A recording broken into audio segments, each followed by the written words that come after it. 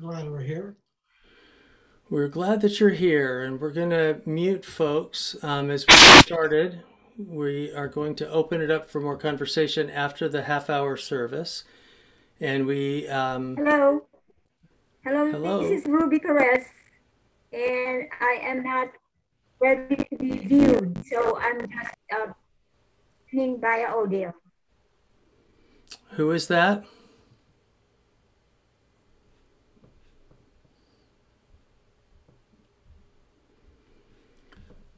Okay. I'm going to continue to let folks in as we get started, but I wanted to um, welcome you on behalf of the Interfaith Council of Contra Costa County.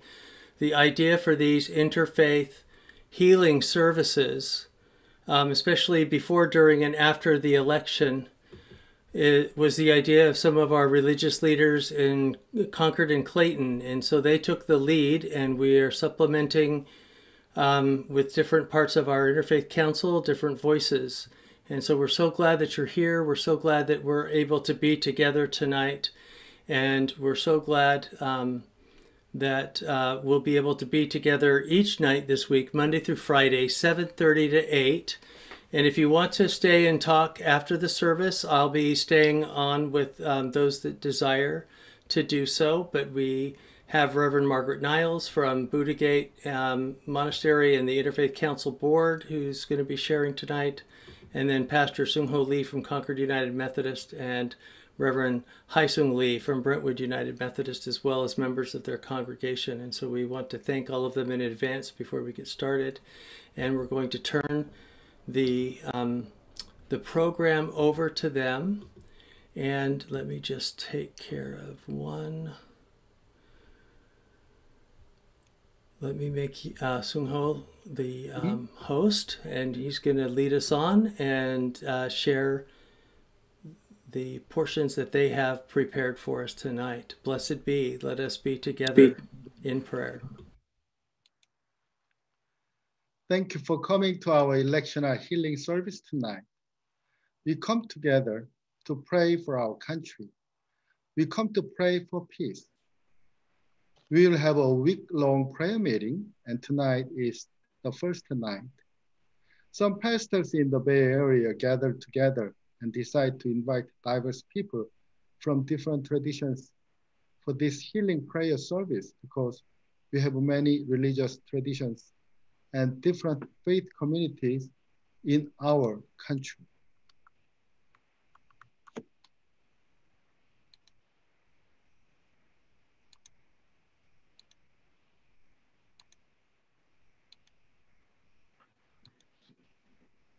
So let us take a time for silent prayer for peace, one minute.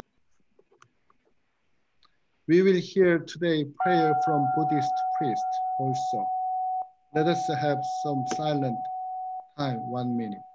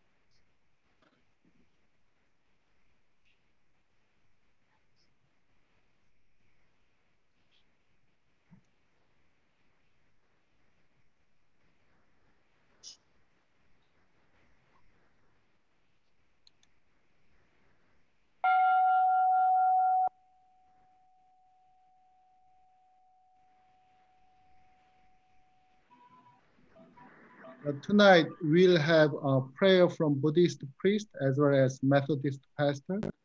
We'll also hear a brief description about with malice toward none from St. Paul Episcopal Church. This prayer service has a three component. As you experienced the silent prayer, written prayer, and song prayer. We'll pray for peace, healing, unity, and kingdom of God. Each time we'll start with a silent prayer and ends with either written prayer or a song prayer. So we had a silent prayer. Now I want to introduce Margaret Niles, Interfaith Chaplain, Buddhist Buddha Guest Gate Monastery to talk and lead us in prayer. Amitabha. Good evening. I'm the Reverend Margaret Niles. I am an inter. Oops.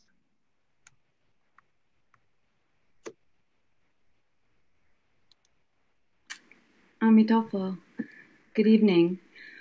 I'm the Reverend Margaret Niles. I am an interfaith minister and I serve on the governing board of the Interfaith Council. I serve as an interfaith chaplain with our unhoused neighbors on the street and also with people who are transitioning from life to death, from infants to our elders. And I come to you as a Chan Buddhist, a Zen Buddhist, having taken vows in the Chung Tai tradition, learning from the Dharma teachings of Grandmaster Wei Chueh.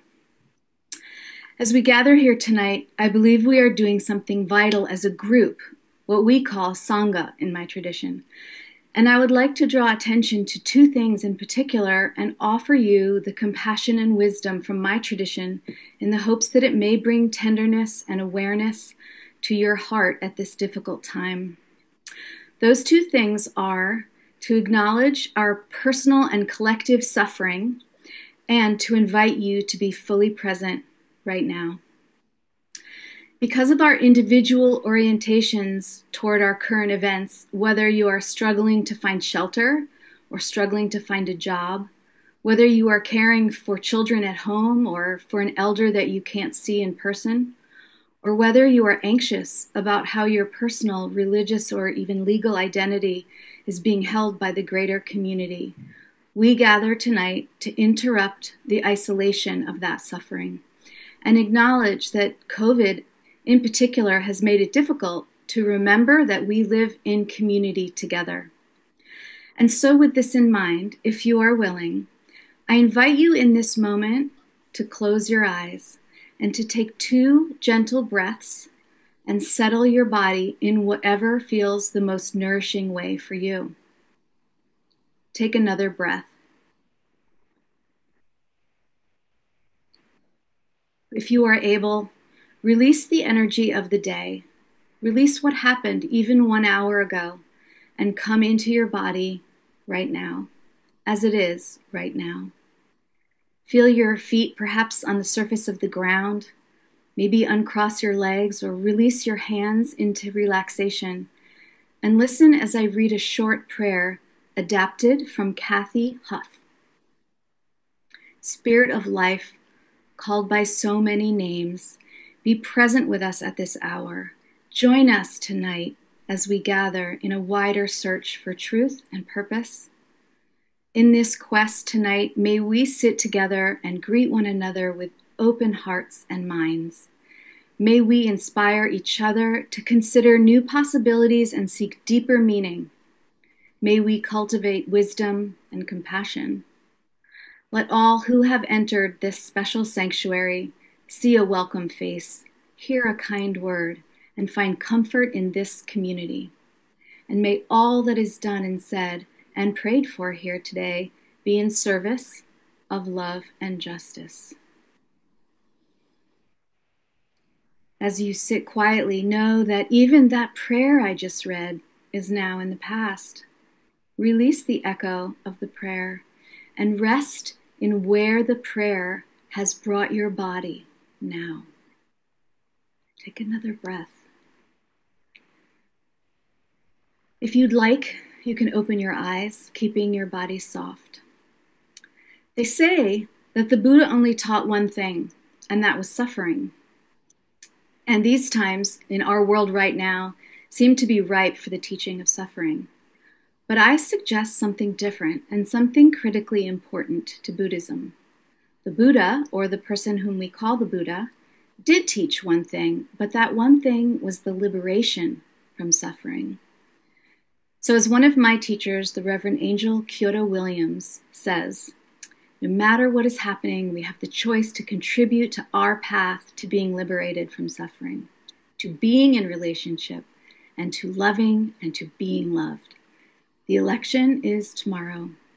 I suggest that starting tonight and moving into tomorrow, you choose to find your own way to your breath as often as possible, perhaps even at the top of every hour. No matter what your religion or what your faith or spirituality teaches you, I believe that we all understand our interconnectedness and the power that compassion.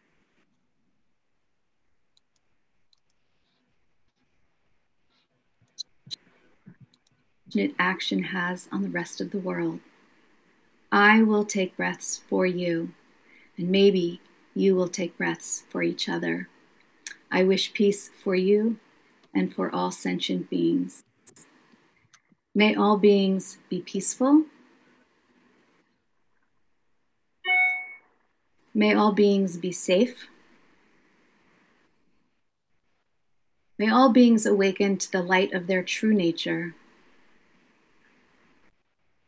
And may all beings be free.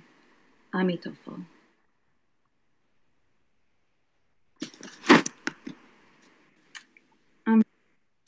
Now we are going to have song prayer, Dona Nobis Pacem, Lord give us peace. We will sing in Latin and Korean and English and Hebrew by Reverend Sung Ho Lee and Reverend Hyesung Lee.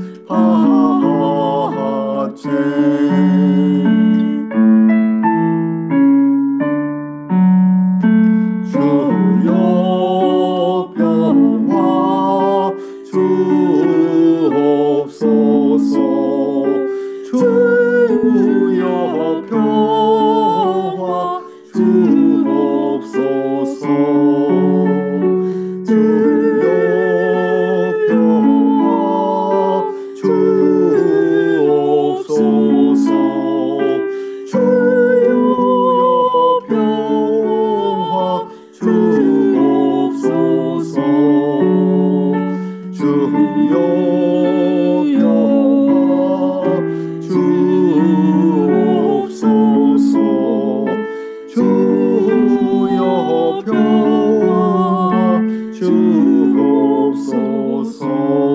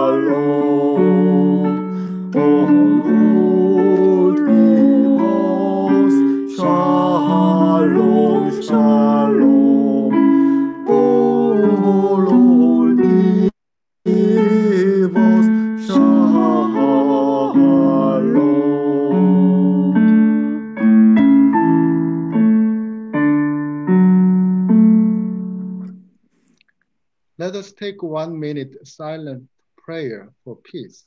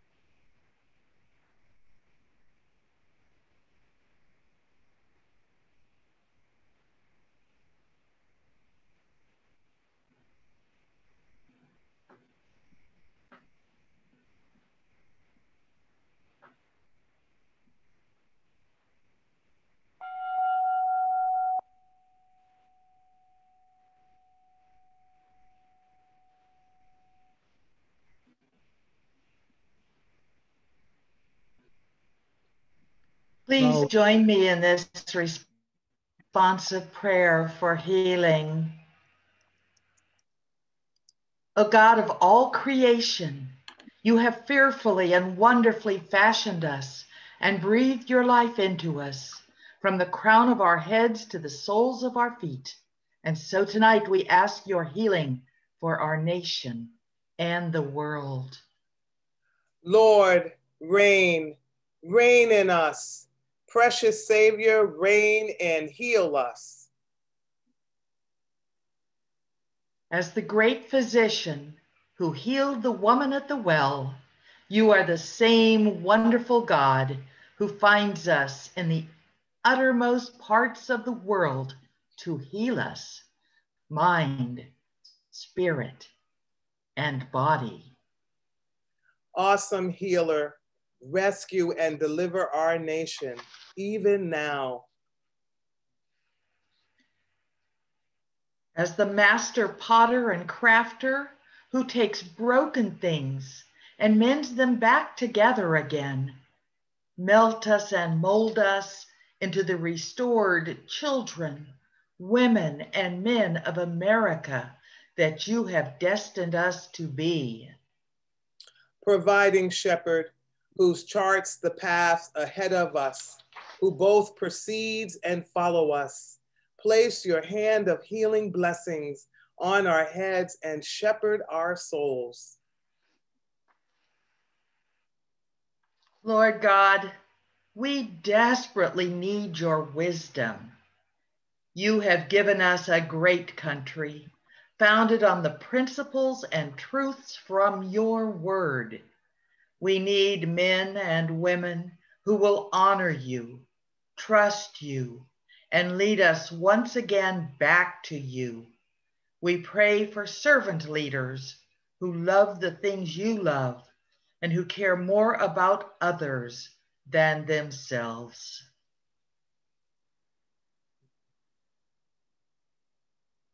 Heal us, God. Make us a great nation, yes.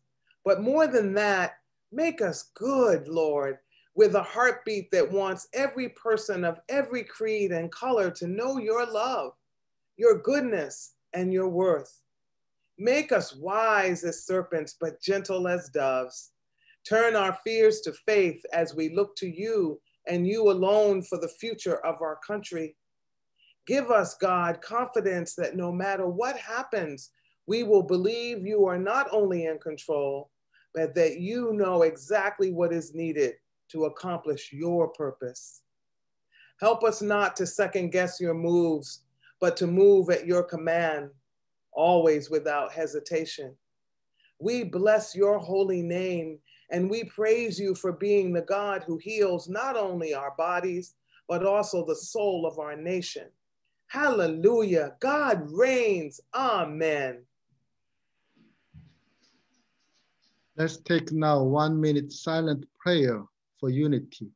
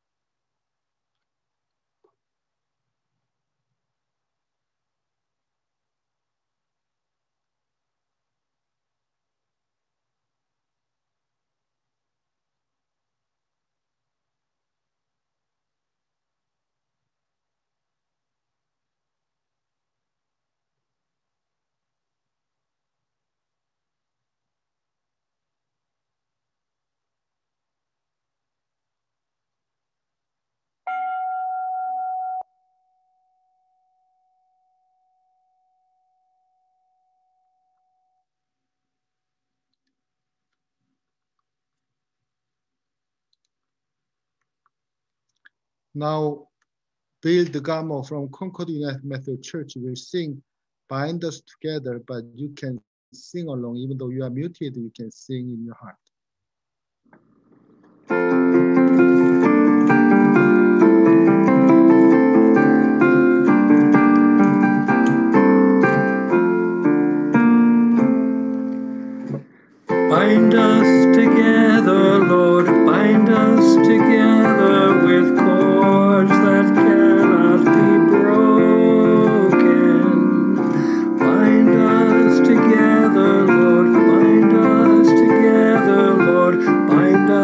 Together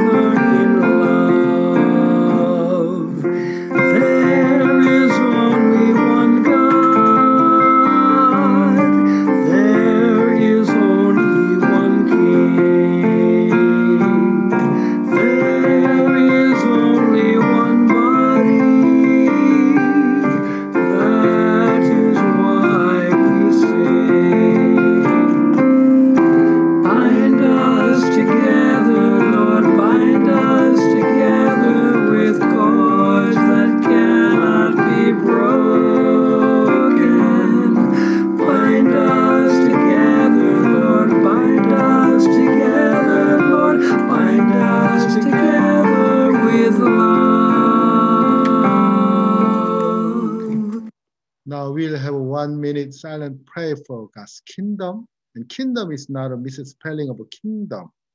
While kingdom represent God's kingship and God's reign, kindom shows the kinship among God's children. Jesus introduced us, our Father who is in heaven, in his teaching on prayer.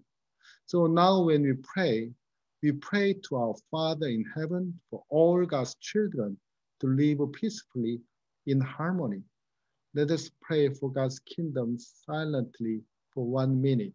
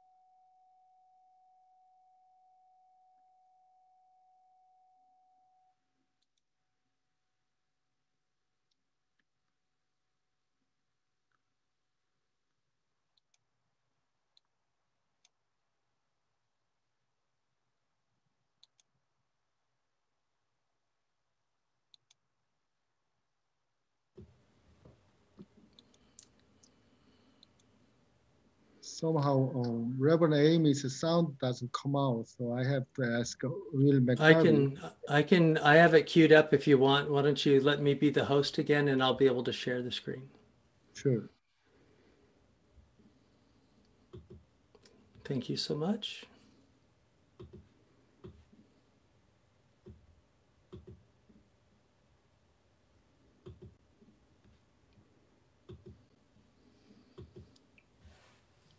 Hello, everyone. I'm Emily Hopkins, and I worship at St. Paul's Episcopal Church in Walnut Creek. And I'm here today to share with you an organization that I've become a member of. And uh, we are offering uh, some, the purpose of the organization, it's called Braver Angels. Uh, we are here to bring our nation together. And we have a lot of resources available to everyone And there's an especially an initiative around this November election season that I'd like to share with you. So I have some slides for you, and then the information will be available at the end of the program.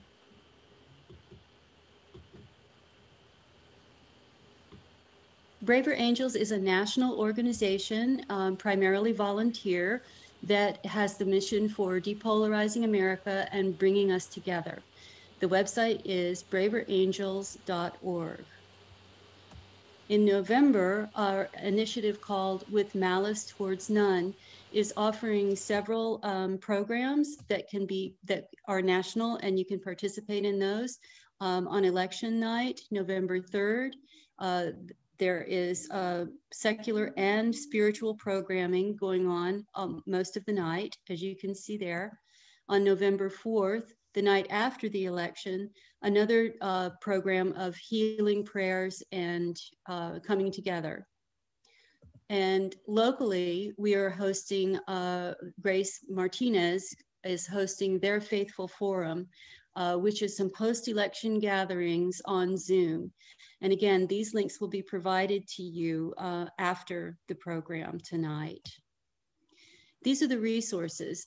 BraverAngels.org has a number of resources, as I mentioned. Uh, they have debates and they have training opportunities, some workshops that you can participate in individually on your own online or with groups.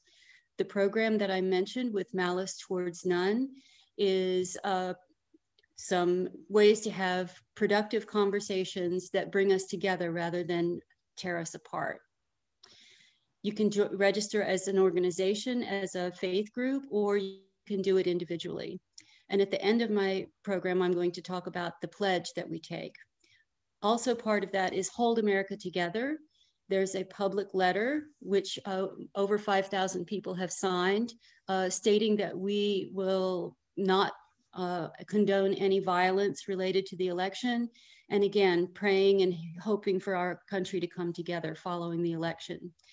And again, there are several Bay Area alliances um, in San Francisco Bay Area. There's San Francisco, Alameda, and there soon will be a couple in Contra Costa.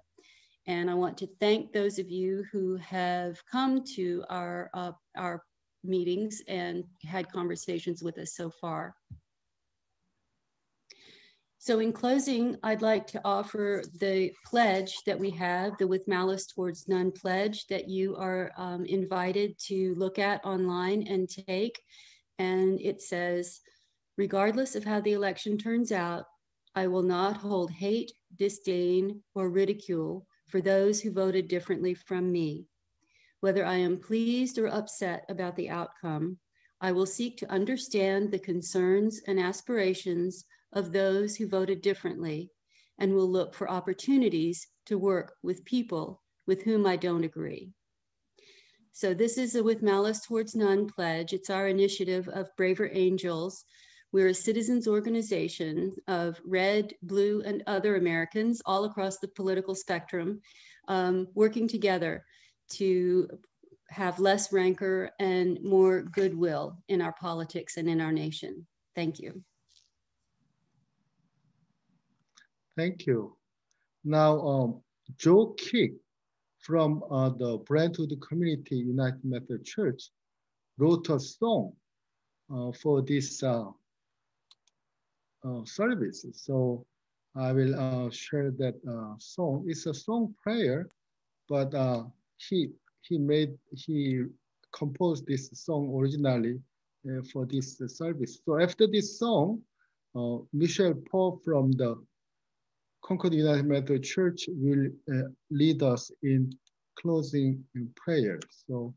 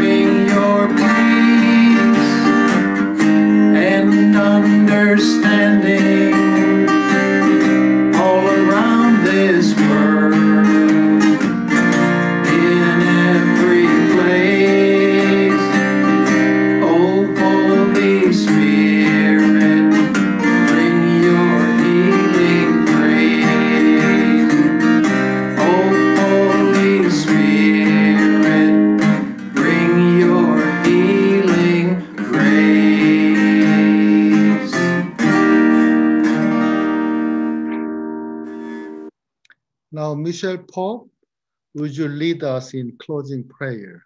Yes, let's be in prayer. Lord God, as the election approaches, approaches, we seek to better understand the issues and concerns that confront our city, our state, our country, our neighborhoods, and how the gospel compels us to respond as faithful citizens in our community. We ask for eyes that are free from blindness so that we might see each other as brothers and sisters, one and equal in dignity, especially those who are victims of abuse, violence, deceit, and poverty. Lord, be with us as we go and try to figure out why there is so much oppression. And where we don't see you, help us to look closer because we know there you are.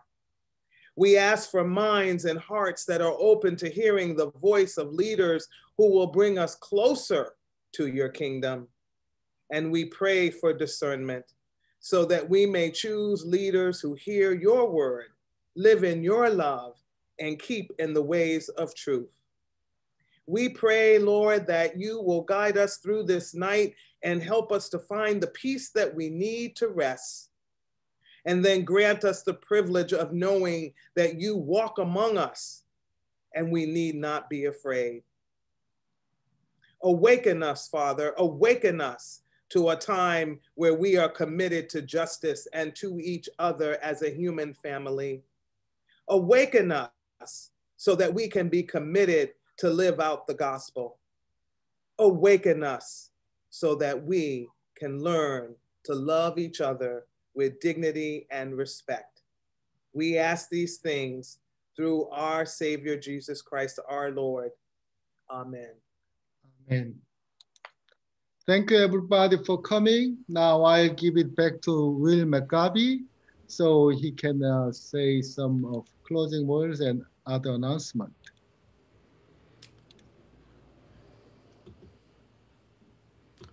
We're so grateful that you joined us tonight. And we're so grateful that you were able to be a part of our time together. And um, uh, I'm going to, I've put a lot of the data that was shared in the Braver Angels, especially the offerings and the different links of the resources and even the text inside the chat room if you want it. We're also going to put this text inside the um, YouTube um, link for our recording. And so we are grateful that you've been here with us tonight. We hope that you'll join us and invite one or two people to join you for tomorrow. It'll be a very different service being led by Reverend Barbara Barkley and uh, Dr. Erica Baines from the Presbyterian and Sikh traditions. And um, as I mentioned earlier, um, we'll have uh, Jewish leadership. Uh, and uh, on Wednesday night, we'll have Baha'i leadership on Thursday night and Muslim leadership with us on Friday night as well.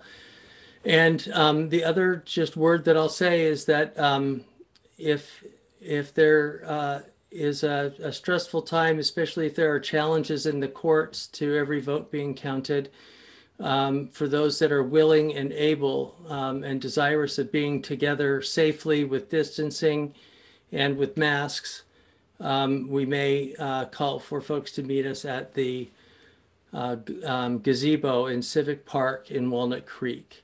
Um, so look on our Facebook page for that. And our um, our annual meeting is this Sunday night at 7 p.m. where we're going to be not only celebrating all of our interfaith ministries like this one, but also celebrating with our Making a Difference Award. Um, Kathleen Sullivan from the Greater Richmond Interfaith Program, which continues to do amazing work in West County, including overseeing 200 people that are living inside the Richmond Courtyard Marriott. And uh, Sandra Scherer and her team at the Mount uh, or Monument Crisis Center, and they've been doing food distribution even during the height of the COVID pandemic. And um, we'll also be honoring um, Leslie Gleason from Trinity Center in Walnut Creek, Taun Hall from uh, the Miles Hall Foundation and the Friends of Scott and Taun Hall, who've done amazing work over the last year and a half around mental health, and Gigi Crowder, the executive director of NAMI Contra Costa, who has lifted up the needs of uh, both the, the um, African American community, but also the mental health needs of our whole county. And so join us Sunday night as we celebrate them and uh, uh, join us any of these weeknights for our prayer times together. For those of you that would like to be able to stay uh, and share greetings and um, Zoom hugs, we'll uh, we'll do that for a little while so you have time to copy and paste anything out of the chat room that you'd like. Have a great night. We're so grateful to you. Thank you again, Reverend Margaret Niles from the Interfaith Council Board and uh, the Buddhist tradition, uh, Pastor Sungho Lee from Concord United Methodist and Pastor Hyesung Lee from Brentwood United Methodist and all of the members of your congregations that made tonight a success and a, a peaceful time together. May peace prevail on earth. Amen.